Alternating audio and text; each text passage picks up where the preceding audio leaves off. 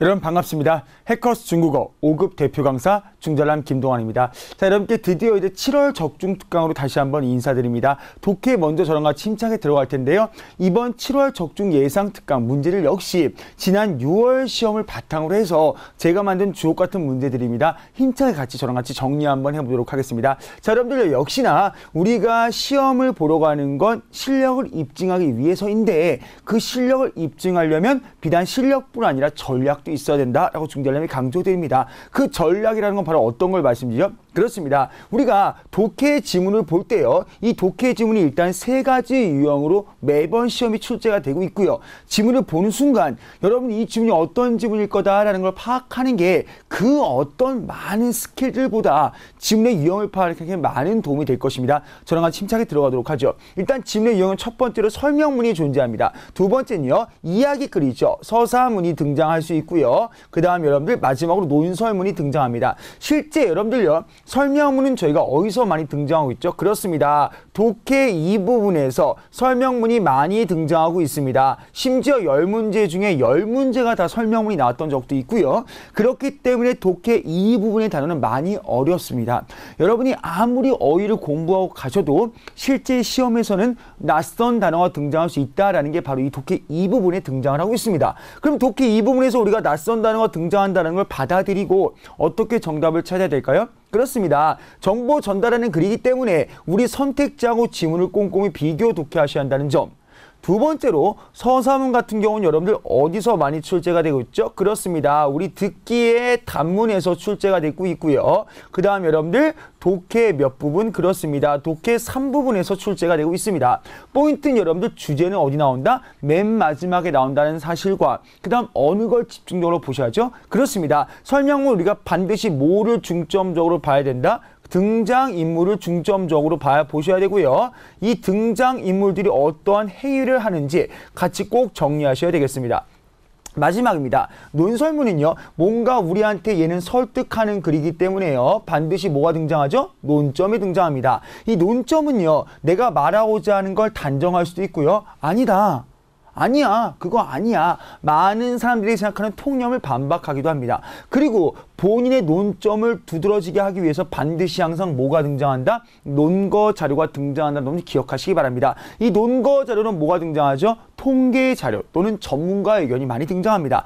이렇게 우리가 지문의 유형을 파악하는 게 바로 첫 번째 할 일이고요. 그 다음 뭐를 분석하시는 거? 선택지 분석하시는 거 너무너무 중요합니다. 그리고요. 이 선택지를 분석한다는 건 즉 제시 단어를 분석하는 거죠. 제시 단어를 분석하는 건 그거의 뭐와 그렇죠. 뜻 플러스 뭐를 같이 기억하는 거 용법을 같이 기억하는 게 너무너무 중요합니다. 이어서요. 일부분 독해 1부분 같은 경우는 호응 관계를 중심으로 정답을 찾아 주셔야 되고요. 독해 2부분 같은 경우는 매력적인 오답을 파악하셔야 되겠습니다.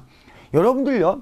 지난 6월 시험에요. 쓰기 1부분. 저희가 어순 배열하는 거죠. 단어 순서 나열하는 문제 처음으로 여러분들 특수한 어법에 해당하는 바자문, 빼자문, 비교문, 연동문, 겸어문에 해당하는 어떠한 특수한 어법이 등장하지 않았고요. 그냥 주어, 수로, 목적, 관용어, 부서보 아주 중국의 기본적인 어순과 그리고 어떤 걸 살펴서 호응 관계를 살펴서 나열하는 문제가 많이 등장했습니다. 대부분 다 그런 문제가 등장했죠.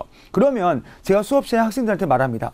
여러분들요. 쪼개져 있는 거, 즉 쓰기 일부분에서 나눠져 있는 단어를 갖다 많이 공부해서 그 문제를 잘 맞추신 게 아니라 어떻게 공부했나? 그렇습니다. 완벽한 독해 지문의 문장을 내가 즉 옳게 정의된 문장을 많이 읽어봐야지만 그리고 그 속에서 호응관계 찾는 연습을 같이 하셔야지만 결과적으로 언어적으로 5급을 공부할 수 있다는 말을 제가 강조합니다. 여러분들 아시겠죠?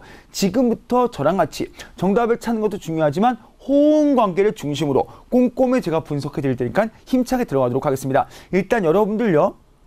아무리 시간이 없으셔도 문제는 꼭 풀고 강의 들으시는 거 맞죠? 자, 힘차게 들어가 보도록 하겠습니다. 네, 여러분들 첫 번째 지문인데요. 일단 여러분들 아, 빈칸이 여기 있다라는 거 파악을 했고요. 지문을 딱 보는 순간 여러분들 아, 익숙한 단어다. 뭐에 대한 거죠, 여러분들? 그렇습니다. 베이징 가오야 그렇죠, 여러분들. 북경 오리구이에 대한 여러분들 얘기잖아요. 한번 익숙해. 사실 여러분들 이러한 단어는 저희가 어느 회화 책에도 자주 등장하는 단어입니다. 베이징 가오야. 아, 이렇게 HSK는 중국에서 출제하는 시험이기 때문에 자기네 나라에 해당하는 다양한 여러분들 유명한 요리들, 그다음 유명한 인물들, 아니면 유명한 명승 고적지들이 많이 시험에 출제가 되고 있습니다. 이건 뭐에 대한 거다? 그렇습니다. 설명문에 대한 거다라는 걸 일단 파악할 수 있고요. 자, 꼼꼼히 중절한 거 시작 한번 해보도록 하겠습니다. 베이징 가오야是 中国著名的 차이핀之이 나와 있네요. 뼈대 잡아볼까요? 베이징 가오야 주어가 되겠죠. 시 수로가 되겠습니다. 그럼 뭐 뒤에 그렇죠. 더 다음에 있는 거. 아 이건 바로 차이핀 음식이구나 라는 거 파악하셔야죠. 선생님 당연히 음식이잖아요. 근데 여러분들요 이렇게 써 있는 게 바로 설명문의 전형적인 시작 형태입니다. 여기에 내가 모르는 낯선 단어가 등장하죠. 아니 지금 여러분들께서는 이 베이징 가오야를 알고 있으니까 이게 익숙하지만 막상 많은 설 설명문의 유형에서는 이 부분에 낯선 단어가 등장합니다. 그럼 낯선 단어를 해석하실 게 아니라 아 낯선 단어는 이거다라는 더 다음에는 목적어를 파악하셔서 먼저 그 낯선 단어에 대한 느낌을 여러분 받아들이셔야 된다고요. 가겠습니다. 베이징 가오야시 중국 주민더 차이핀지 그렇죠. 중국의 유명한 음식 중에 하나래요. 중국의 유명한 음식이 여러분들 베이징 가오야만 있는 게 아니기 때문에 뭐뭐 중에 하나다라는 거 들어갔네요. 단 그렇죠 역접을 나타내는 거 중요하네요. 단 그러나 베이징人 吃烤鸭的习俗 여러분들 주어가 뭐가 주어요? 베이징人이 주어가 아니죠. 주어는 여러분들 뭐가 주어요? 그렇습니다. 더 다음에 나와 있는 게 주어죠. 그러니까 주어는 여러분들 여기에다가 은는이가 해석하셔야 돼요. 이러한 습관은 풍속은 은는이가 주어에다 붙이시라고요. 그럼 앞에서부터는 다 뭐 하는 거다? 꾸며주는 거다. 즉 베이징은 북경 사람들이 먹는 여러분들 오리의 오리의 어떤 그런 풍속은 습관은 시什么什么的 바로 뭐 하는 거다? 강조하는 거다라는 겁니다. 어디서 왔다라는 거죠? 종, 난징, 주안라이더. 아, 북경 오리구인데요. 이게 남경에서 왔다라는 걸 지금 강조하는 거죠. 아, 어디서 왔다? 남경에서 왔다. 하겠습니다. 난징 웨위 여러분들 너무너무 중요합니다. A가 B에 뭐에 있다? 위치에 있다. A가 B에 뭐에 있다? 위치에 있다. 여러분들 웨위란 요 단어 비교해 드리죠. 웨위 얘는 여러분 위치하다인데요. 얘는 여러분들 지리적인 위치를 의미합니다. 그리고 여러분이 헷갈리시는 거 어떤 단어? 짜위 여러분들 짜위 이걸 많은 분들이 어디 어디 있다라고 해석하십니다. 근데 있어요. 그런데 여러분들 그렇죠. 사물이 어디 어디에 있는 게 아니라 사물의 본질이 그래서 추상적인 게 어디 어디에 있다라고 씁니다. 그래서 굳이 한국어로 해석하시다면 뭐뭐에 달려 있다 이렇게 해석하시는 게 훨씬 더 좋겠습니다. 그래서 이 자리는 짜위를 쓸 수가 없겠죠. 왜냐하면 남경은 어디에 있다 여러분들? 그렇죠. 짱난 강남에 있다라고 했기 때문에 왜 위가 들어가야 적당합니다. 짜위는 여러분 어디에 달려 있다. 이런 예문이 있죠, 여러분들. 生命在于运动. 뭐 여러분들? 生命在运动. 생명은 여러분 어디에 달려 있다? 그렇죠. 운동에 달려 있다라는 거죠. 운동에 있지만 달려 있다는 추상적인 의미잖아요. 가겠습니다. 베이징, 난징, 웨위. 찌앙난에 있는데 어떠한 찌앙난이죠? 그렇습니다. 여기서부터 여기까지 누굴 꾸며줘요? 얘를 꾸며주고 있네요. 어떠한 찌앙난? 베이청웨이 被称为 너무너무 잘 나오죠? 뭐뭐라고 불리다라는 거죠. 사이에 뭐가 생략됐어요, 여러분들? 가해사가 생략됐죠. 불리는 건 당연히 사람들한테 불렸겠죠. 被称为 위미지향 그렇죠, 여러분들. 물, 물고기와 여러분 쌀이 풍부한 고향이라고 불리는 어디? 짱난, 즉 먹을 게 풍부한 짱난 에 위치하고 있다라는 거죠. 그 다음 이어서 두 번째 문장 가죠. 여러분들 여기 지금 보니까요. 주어가 바로 뭐가 주어죠? 그렇죠. 오리가 여러분들 주어네요. 그럼 어떠한 여러분들 오리가 들어가야 되죠? 여기서부터 여기까지는 다 뭐를 꾸며준다? 여기는 오리를 꾸며주겠죠. 그럼 여러분 어떠한 오리가 들어가야 될까요? 1번부터 A, B, C 선택지 살펴보도록 하죠. 자, 보기 분석 하겠습니다. 중잘남과 함께 소리내서 읽어주시 기 바랍니다. 첫 번째 가죠. 땅띠 시작. 땅띠 그렇습니다. 현지 그 지역을 말하죠. 두 번째요. 지아시앙 예 여러분들 고향이란 뜻이고요. 아 꾸시앙 얘도 고향의 뜻이네요. 라오지아 그다음 지아시앙 꾸시앙 전부 다 같은 뜻이니까 이건 들어갈 수 없고 탈락입니다. 네 번째가 죠 띠팡 그렇죠. 그 지방이 되겠죠. 여긴 여러분 어떤 게 들어가야 될까요? 그렇습니다. 여기 지금 오리긴 오리인데 어떤 오리예요? 그렇죠. 앞에서 말하는 지금 누구? 남경에서 기른 오리에 대해서 지금 설명하고 있는 거잖아요. 그렇기 때문에 남경이라는 걸 지칭할 수 있는 건 뭐가 들어갈 수밖에 없다라면 그렇습니다. 땅띠가 정답이 되네요. 땅띠가 의미하는 게 바로 뭐죠? 음, 난징이 되겠네요. 그래서 난징양더 야즈 야즈 오리는요. 페이 호 지방이 뭐하고 두텁고 그 다음 여러분들 그렇죠 고기가 많대요 육질이 풍부하대요 味道 지지 아주 맛있대요 지지 중요한 5급 부사죠 맛이 아주 여러분 풍부하대요 자그 다음 우리가 화면 넘겨서 이어서 보도록 하겠습니다 여러분들 얼 그리고요 烤出来的 야즈 그렇습니다 구워 나온 그런 오이는 오리는 更是 풍味, 풍미가 여러분들 어떻다가 들어가야 돼요. 여러분들 지금 이 지문 누가 쓴 거예요? 중국이 쓴 거죠. 결국은 여러분들 지금 북경 오리구에 대해서 아주 소개하고 자랑하고 있는 거예요. 근데 풍미가 여러분들 어떻다? 부변, 그렇죠. 보편적이다 이런 거 내지 않겠죠. 풍미가 바로 어떻다? 그렇습니다. 두트 하다가 들어가야겠죠. 정수라는 건 성숙하답니다. 사람한테 성숙하다 쓸 수 있고요. 또는 과일에 쓰면 과일의 열매가 무르 익다라는 걸로 씁니다. 자, 그 다음 네 번째요. 리용. 이건 여러분들 이용하다인데요. 보통 여러분들 리용 A, 그 다음 라이, 그 다음 여러분 B의 형태로 많이 쓰이죠. A를 이용해서 B하다, A를 이용해서 B하다. 이때 라인이 여러분들 오다가 아니라 하다의 뜻이겠죠. 그런 형태로 많이 쓰입니다. 그래서 정답은 뭐다? 두투어가 들어가야 되겠죠. 션쇼 너무너무 중요한 호응구 정리이네요. 션쇼 깊게 받았어요. 뭐를? 시알 사랑을 받았어요. 호응구 여러분들 정리하셔야죠. 어떤 사람들 그렇습니다. 난징랜더 시알 그러면 지금 여러분들 결국은 북경 오리구에 대해서 말하고 있지만 이건 여러분들 어떻게 강조했었죠? 그렇습니다. 남경에서 왔다라는 걸 강조했고 남경에 대한 얘기만 하고 있어요. 우리가 궁금한 건 뭐죠? 왜 북경 오리구의 이름이 북경이 들어갔을까 궁금한 거 아니에요? 이어서 보겠습니다. 홀라이 여러분들 그렇죠. 그 후입니다. 그 후에 바로 뭘 의미하죠? 과거의 특정 시점부터 이후를 의미합니다. 우리가 이호라고 불리는 건 여러분 뭐죠? 현재부터 미래, 앞으로 이후를 말하죠. 홀라이는 과거의 특정 시점부터 그 후입니다. 후에 밍朝더 그렇죠. 명나라의 띠상거 황띠 그렇죠. 찌양 모를 갖다가 그렇죠. 이거 어떻게 발음하실 거예요? 소두라고 발음하셔야죠. 찌양은 여러분들 저희가 모랑 같은 거죠? 그렇습니다. 바자랑 똑같은 뜻이죠. 뭐뭐 을룰로 해석하셔야죠. 명나라 때 세 번째 황제가 모를 수도를 수도를 종 어디에서 그렇죠. 남경에서 치안왕 치안 여러분들 이동하다 옮기다 천도하다죠. 수도를 남경에서 어디로 옮겼어요? 그렇습니다. 북경으로 옮겼어요. 이건 우리가 예상할 수 있었죠. 烤鸭这道菜也被带到了北京. 그렇습니다. 북경 오리구인 이 요리도 역시 여러분 뭐예요? 빼 당했다라는 거죠. 같이 어디로 왔다? 북경으로 왔다라는 거죠. 게다가 很快 쇼다올 아주 빠르게 여러분들 그렇습니다. 북경 사람들이 뭘 받았어요? 환영을 받았다라는 거죠.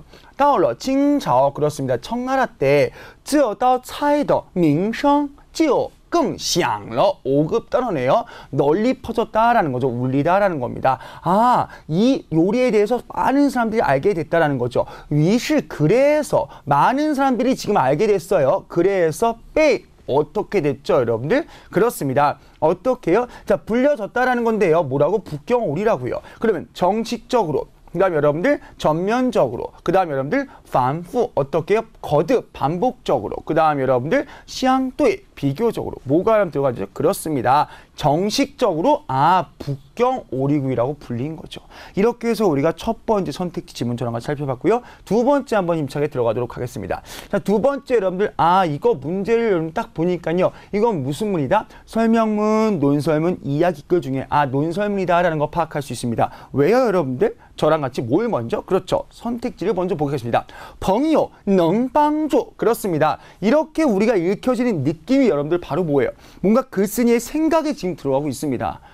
앞에서 북경 오리구에 대한 사실을 여러분 열거한 것과 지금 이 지문은 다소 차이가 있죠. 이건 무슨 지문? 논설문입니다. 우리가 여러분들 중단님이 말씀드렸죠. 논설문이라는 건 뭐를 파악하셔야 된다? 반드시 는 논점이 등장한다. 논점. 논점을 먼저 여러분 파악하셔야 되겠다라는 거죠. 이것 때문에 논설문을 쓴 거 아니에요. 논점과 항상 여러분 목이 뭐가 나온다? 논증이 등장할 수 있다라는 거 파악하셔도 되겠네요.